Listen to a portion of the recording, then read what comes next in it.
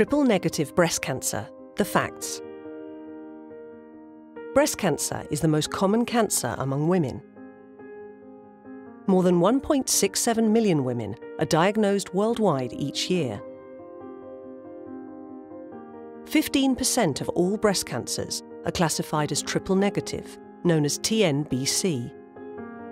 Incidence of TNBC is more common in women under the age of 40 to 50 compared with other forms of breast cancer.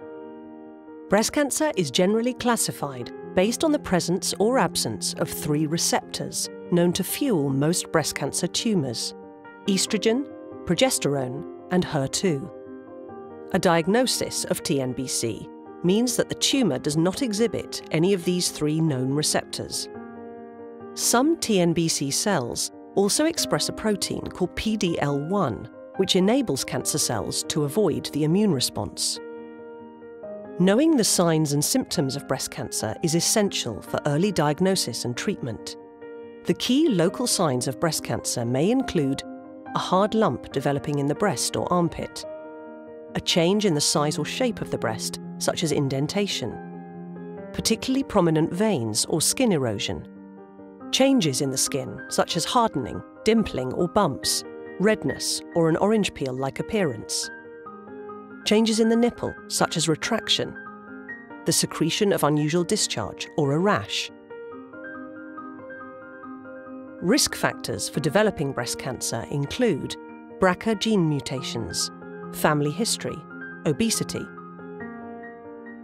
A number of factors have been shown to increase a woman's risk of developing TNBC specifically, although further research is required to fully characterise who is most at risk.